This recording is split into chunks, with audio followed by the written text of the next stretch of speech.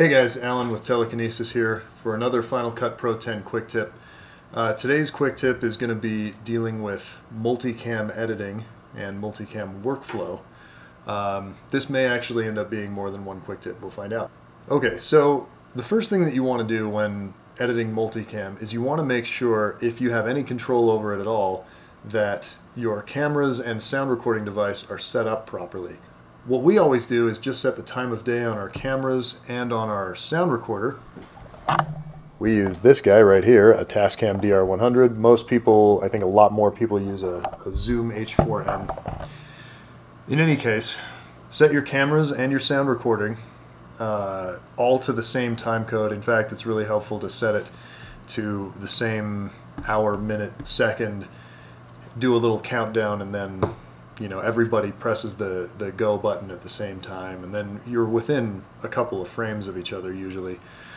So you can see we've brought our files in. Here's the audio. This came from the audio recorder.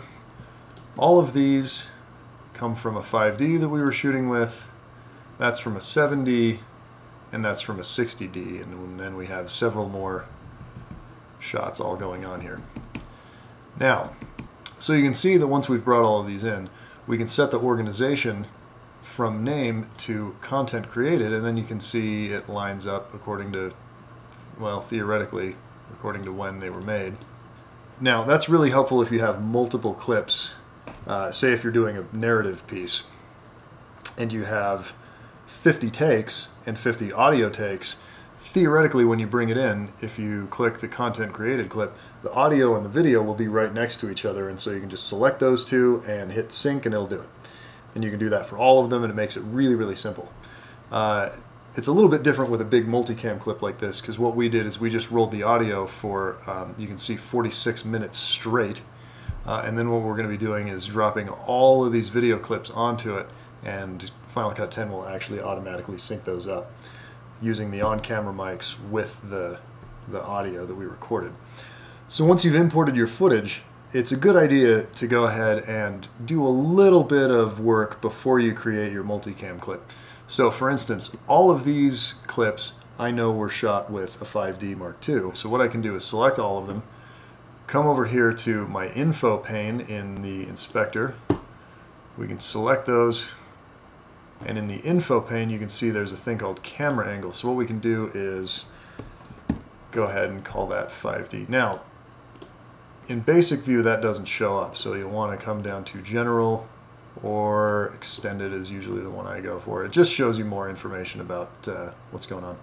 You can change the camera angle, the audio, you can see I've already named audio, and then I have other clips, some shot with a 7D and some shot with a Canon 60D uh, and those kind of alternate going down. So in any case, it's important to create camera angles, and I'll show you why right now. So let's grab everything, right click, create a new multicam clip. And you can see I've added a keyboard shortcut here, Control G, because I do a lot of multicam stuff. So I'm just going to use that, Control G. And you give it a name. We're going to call this Rooftop Series.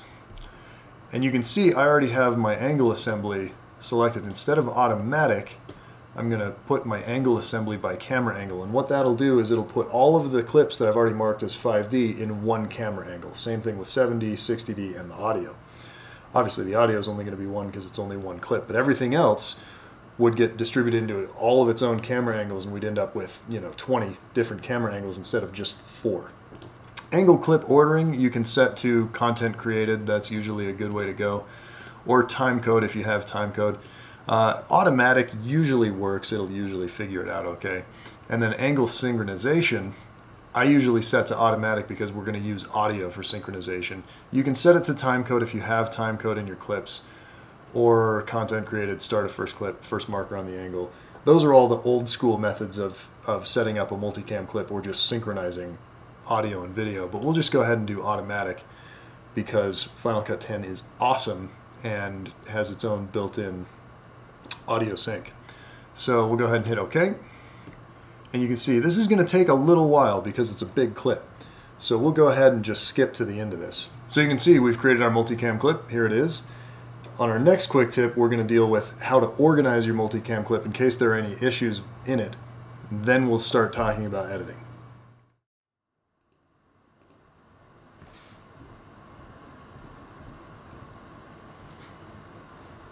Crap it. Crappington.